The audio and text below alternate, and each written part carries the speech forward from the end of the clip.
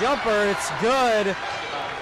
Jumps by number three, Gavin Reasonover. Gives it to Malcolm.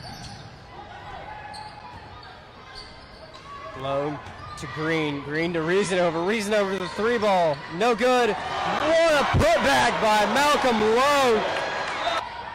Gives it off to Hastings. Hastings back to Lowe to Reasonover.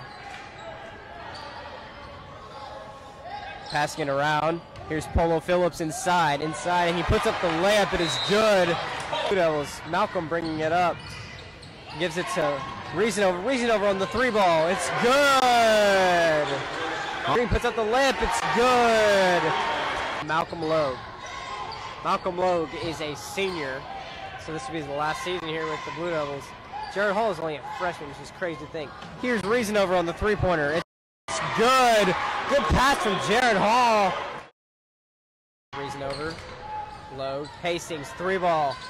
Good. Deep three from Jeremiah Hastings. Wildcats now. Pass. Layup is good. Back to David. Back to Kobe. Kobe on the layup. It's good.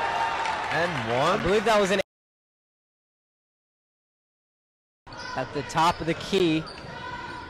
Passes it off to Jared Hall. Jared to Jamar. Jamar inside. Layup is good. 53 to 34.